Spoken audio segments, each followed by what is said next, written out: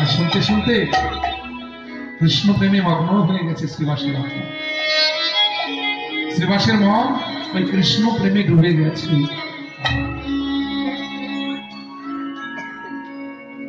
ভাগবত বর্ণনা হচ্ছে,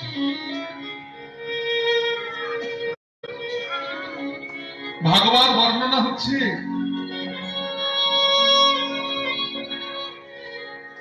বলছে যে ভগবান সব সইতে পারে, কিন্তু একটা জায়গায় তিনি বড় দুর্বল। ভগবানের দুর্বলতা কোথায় জানেন?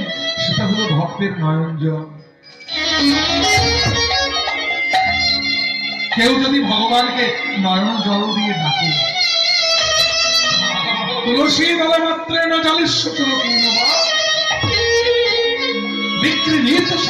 ভক্তব্য ভক্ত। একটি তুলসী পাতা গঙ্গা জলে ধুয়ে যদি দুপুরটা নয়নের জল, কেউ ভগবানের চরণে দেয় ভগবান বললেন, সেই ভক্তের কাছে আমি জন্ম জন্মান্তরের জন্য নিজের আত্মাকে বিক্রয় করে দিই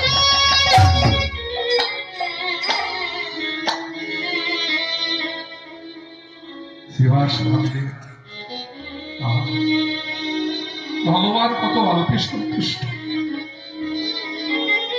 ভগবান তো এত কিছু চান না। তিনি চান শুধুমাত্র ভক্তের নয়ন সেই নয়ন জল আমি ভগবানের চরণে দিতে পারি। জনমটাই আমার বৃথা হতে গেল। স্বামীর মনুষ্য করে এলাম তো কৃষ্ণ সেবায়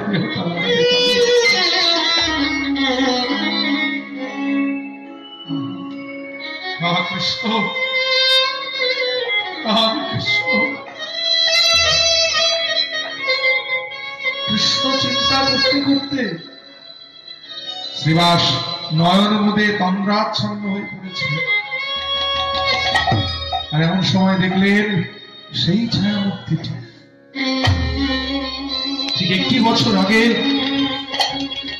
যে ছায়া মূর্তিটি তাকে তার মৃত্যু দিন স্থির করে দিয়ে গিয়েছিল, সেই মূর্তিটা আকাশ পথে শ্রীবাসের সম্মুখে নেমে এলো। আর সেই মূর্তিটিকে দেখে শিবান ভাবলেন, এই তো আমার যাবার সময় হয়ে ওই তো আমায় নিতে এসেছে। সময় নেই আর সময় নেই এবার আমায় যেতে হবে। তাই হে ভক্তগণ, আমার তো যাওয়ার সময় হলো। ওই তো আমায় নিতে এসেছে। এই যাবার বেলায় তোমাদের একটি কথা আমি শুধু বলে যাই। যাবার বেলা শুধুই